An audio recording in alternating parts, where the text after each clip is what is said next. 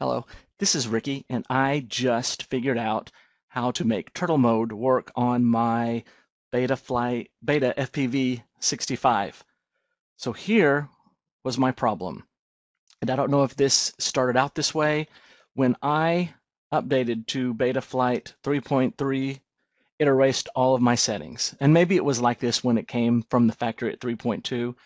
But when I went to my PID tuning, look real closely at this graph. I noticed that when I would do my rolls, do you notice how the little pink ball isn't going all the way to the top? Whereas the, the green ball for my pitch is, and so is my roll. So on the receiver, I just made sure to adjust my sub trim so everything was in the middle. And then on my roll, you see how it's only going to 1921, 1076, so it's only going to that. But my pitch is going all the way down to 1,000 and all the way up to 2,000. And my yaw all the way down to 1,000 and all the way up to 2,000.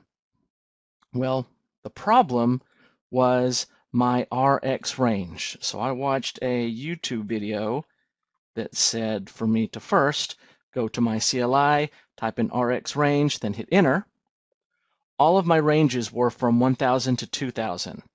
So just by being off by 75 and 23 was enough to completely not give me the full amount of deflection, or in this case, um, utilizing the full potential of my brushless motors. So the fix was, is I went into the um, receiver and wrote down all of the settings that gave my um, my receiver gave to the little graph. So most of my minimums were 1075, and then most of my maximums was 1923. So as soon as I did that, I just needed to type RX range, and I only changed the the roll just so I could make this quick little video. Mine was 1075. Oops, I have to put a zero. And then my maximum was 1923. And then I hit enter. And then I type in save. And then I hit enter. And then it reboots. So now when I click connect and I go to my receiver for my roll, it goes all the way down to 1,000 and it goes all the way up to 2,000. And then in my PID tuning over here, it goes all the way where it says it goes a thousand degrees a second and all the way up to a thousand degrees a second. Just by doing this, this was enough to give the motors enough power to flip it when it was um, inverted. So turtle mode now works. It does work better on the carpet, but I was able to get it to work on my wood floor. It just took a little bit longer. Hope this helps anybody else. Hello.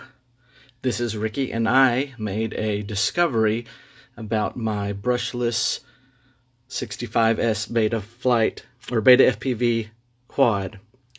So when I updated to Betaflight 3.3 and it erased all of my settings, I think I needed to readjust my RX range because when I was moving my sticks, I was not getting the full deflection.